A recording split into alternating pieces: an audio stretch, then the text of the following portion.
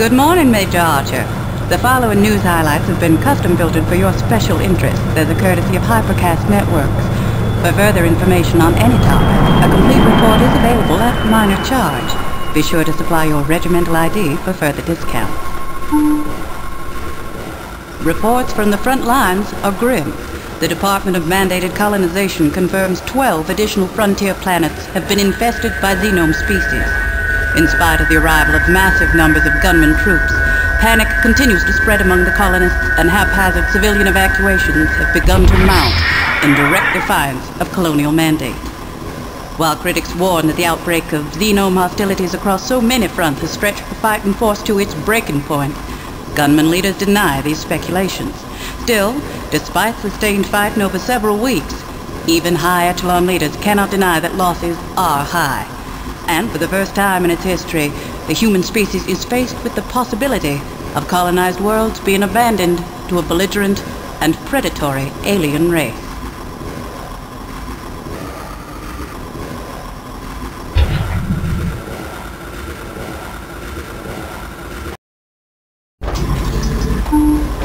Watchers report several recent arrivals of gunman neural specimens to the Medical Intelligence Facility. While complete mapping of salvaged tissue remains difficult, there are rumored to be powerful memories of a massive alien queen correlated between neural samples rescued from several different worlds. Experts discount such claims as fearful conjecture, pointing out that it is difficult to separate fact and fantasy when charting mnemonic traces. They use the same point to dispel the far wilder claims of bloodthirsty creatures made entirely of shadow, which have recently caused much upset among colonial conscripts. Last evening, Dr. Varkas Kalhorian, civilian scientist and founder of the Citizens of Full Disclosure, called a press conference to state his belief that the xenomes have been genetically modified and deliberately placed on inhabited planets by an unknown faction. I demand an investigation by a neutral party of all records related to the infestation, including a complete review of documents I believe unlawfully suppressed by the Department of Colonization. Administrators who could have contained this threat when it was negligible chose to sacrifice colonial lives rather than endanger their profits. DMC officials declined to respond to Dr. Kalhorian, except to once again invoke the classification of all such documents as top secret under the Predatory Species Act. Lawyers for both sides continue to prepare for what will undoubtedly be a protracted battle.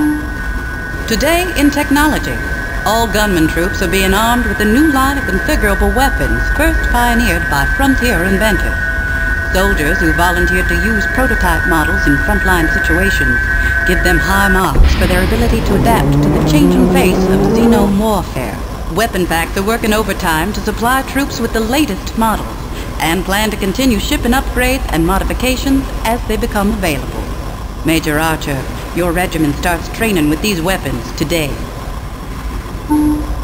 Next week marks the five-year anniversary of the Battle of Banzure Prime, where the first Xenomes took the lives of two platoons of gunmen and their selfless general. His brave actions allowed a few of the gunmen to escape and spread the first official warnings of the Xenome Plague. Memorial fires are being prepared around the Western Spiral Arm. A veterans organization near the frontier plans on detonating the blue giant Gamma Valkyrie in the General's honor. honor. He always said he wanted to go out with a bang. We think a supernova's only fitting. You were with the General on Banzure Prime, weren't you, Major Archer? If you wish to book passage to the Valkyrie system, Hypercast will be happy to make all arrangements. You have 10 days of discretionary leave at your disposal. Shall I make tentative reservation? Major Archer? Major Archer? Major Archer?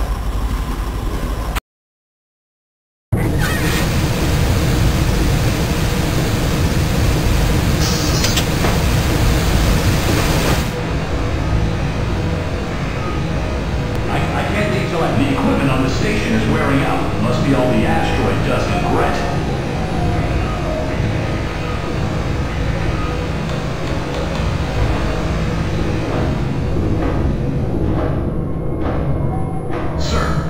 For you in the briefing room.